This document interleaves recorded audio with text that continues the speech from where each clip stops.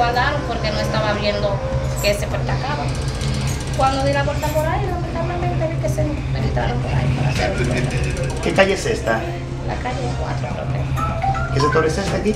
San Martín, yo creo, Lago Chivo. Jarabo de Chivo, San Martín. ¿Qué se llevaron? No, ahora no se llevaron, simplemente una mercancía. Una mercancía. ¿La mercancía tenía dinero? Sí. ¿Qué cantidad más o menos? Era Bueno, es es la primera vez que esto ocurre aquí. Aquí sí. ¿Qué pedirle entonces a las autoridades ante este, caso- ante este caso? Bueno, que se investiguen porque saben que en vez de eso nos trae un pequeño inconveniente a nosotros, pero gracias a Dios está todo normal. ¿A qué hora más o menos eh, piensan que ocurrió el caso? ¿Hay cámaras de vigilancia aquí? Hay cámaras sí, pero todavía no han venido a investigar. Yo creo que vigilancia policial eh, en el sector hay.